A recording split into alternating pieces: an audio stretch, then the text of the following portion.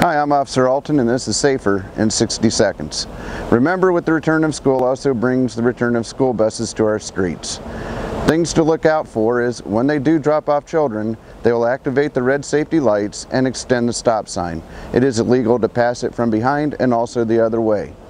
Also, they do make sudden stops at a railroad crossing. Even though the lights are not activated for the crossing, they must stop open their doors and look both ways to make sure there is no train coming. A lot of problems exist when people are too close to the bus and run into the back of it because they do not expect the bus to stop. A good rule of thumb is stay further back so you can see the railroad crossing coming up and be ready for the bus to stop. Now you are safer in 60 seconds.